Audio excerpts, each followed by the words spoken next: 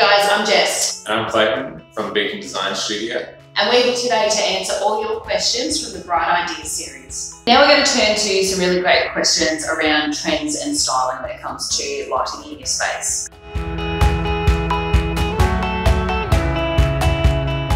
First one is from somebody who's got a Victorian home, which they're looking to moder- uh, modernise and renovate. Okay. Um, what style of lighting do you typically see in these sorts of homes, and how do you keep the traditional charm of the space but also modernise it at the same time?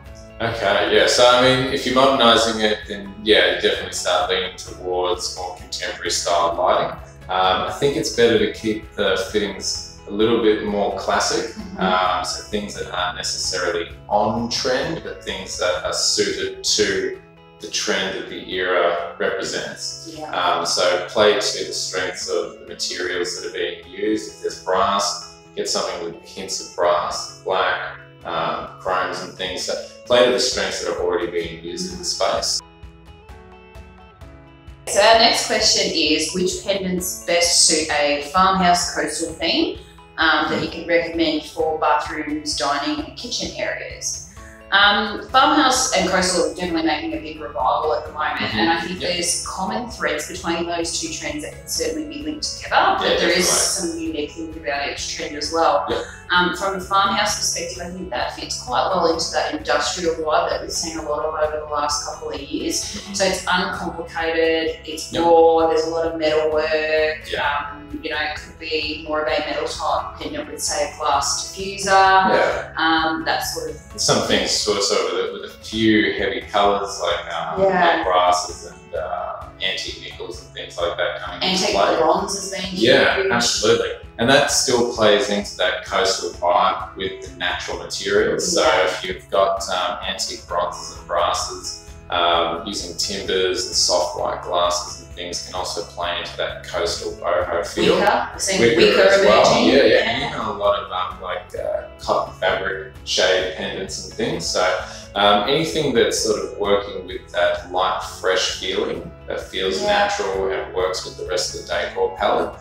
Um, and that plays again into that farmhouse sort of feel, natural metalware, and it feels organic. So Yeah. I think if you're sort of playing along those strengths, uh, I, think you can go wrong. Definitely. The next question, we've got somebody looking for a recommendation, Clayton. So what they're looking for is a wood chandelier that could be placed um, in a void above a staircase, and the staircase is made from glass and steel. What would you recommend? Okay, um, I'd probably play to the strength material that's being used. Um, so if you wanted something glamorous that sort of fits that chandelier um, sort of feeling, um, I'd probably go for something like our uh, Empire, no, Imperial.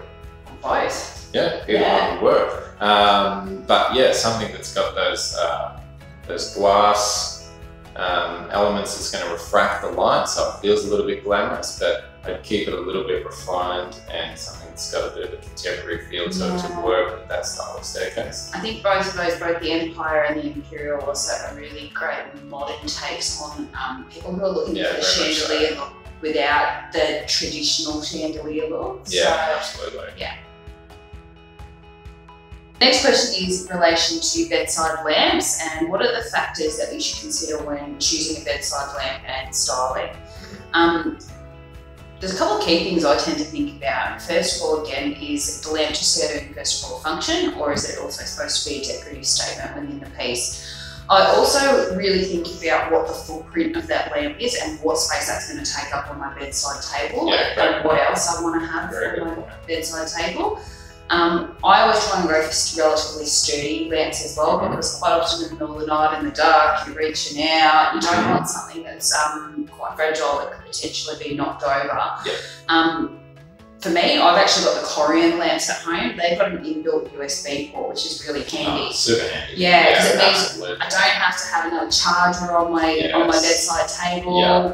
I'm able to actually just plug my phone into my charger cord, which plugs Yeah. into the lamp. That's less cords, all of that. Absolutely. Um, and they're a really great sort of balanced hero piece. Small footprint on the base of the yeah. bedside So table, you've still got room for everything else. Yeah. right? but obviously they go out into a wider shade, so there's quite a Yeah. good statement piece there. Yeah. But I think regardless of the style that you're going for, There's so many great lamps that are on offer now that have that inbuilt USB port, which is true. really hand- handy. Yeah. Um, we do even also sell some lamps where you've actually got just a, a charging mat on them as well, so you can actually Yeah, just that's true. them Yeah, down. you can just phone straight down Yeah. and start charging Yeah. automatically, and yeah, even the, the styles and designs that are out there, Yeah. you know, add, add a nice decor touch as well, definitely. Absolutely.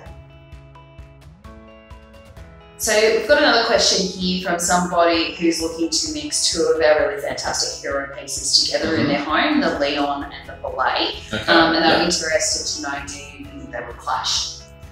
Um, yeah, I think if you're looking at using two large statement pieces, uh, especially if they're in an open plan area, um, I think it's really important to stay consistent with the materials and colours if they're sort of um, so slightly different styles. Mhm. Um, I mean, those two pieces definitely have similar shape and form.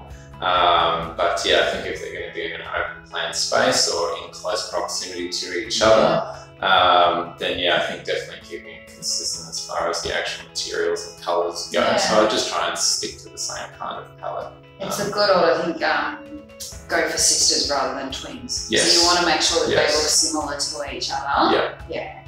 Yeah, But not too different. Not too different.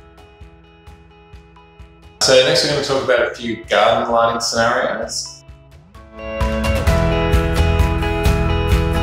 First question is, I currently have a harsh spotlight for my garden.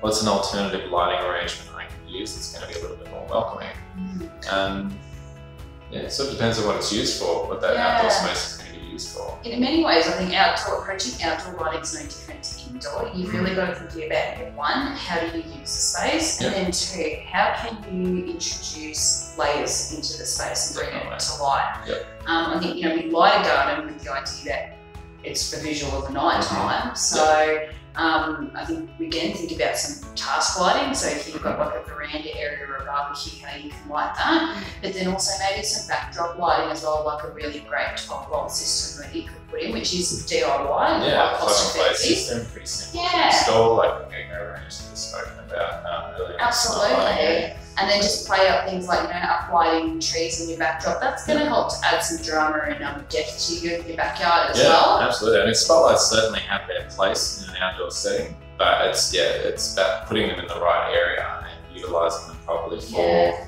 um, service areas down the side of a house or Yeah. something, or near a barbecue.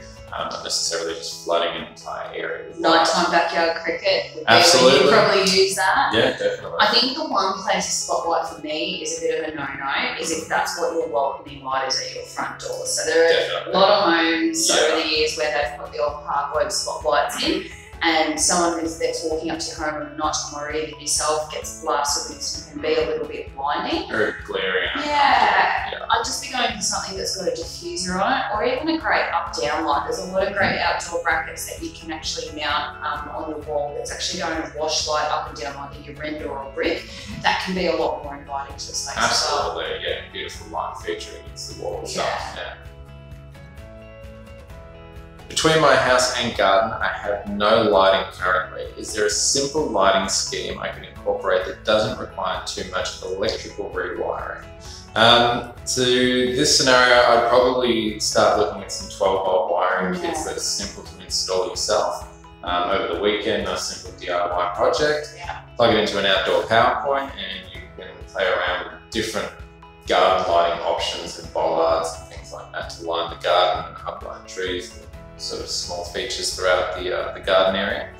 Um, yeah, I think that's probably the simplest way to do it without getting an electrician involved. It's going to be quite labour intensive. I think there's a lot of yeah, there's a lot of great fixture options that you do. You've got Mm. spikes, you've got bollards, you've got deck lights, all Yeah, of those sorts of things.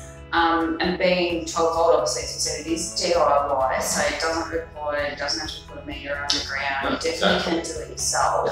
Yeah. And then because of that, it actually means you can move it around. So as you might have a you know a shrub that you're uplighting and it Mm-hmm. grows into a bigger tree, you'll actually be able to move that spotlight where you want. Yeah. I think one of the other, other bonuses as well with 12 volt systems is they're extremely safe. So, you know, you're just going to hide those cords, whether it be a little bit in the dirt or under some tan bark. If somebody happens to, you know, touch it or whatnot. Cut with a shovel or something, doing some exactly. gardening, Or dogs gonna do decide to. Dig a hole into it. Um, it's a lot safer system for, for homeowners. And, Yeah. yeah. And all the fittings, you know, nowadays typically have that plug and play system. It's all watertight. You're not going to get water and things getting in there, making it unsafe. So, um, yeah, a very simple, safe project for the weekend that Yeah. you can change and move around.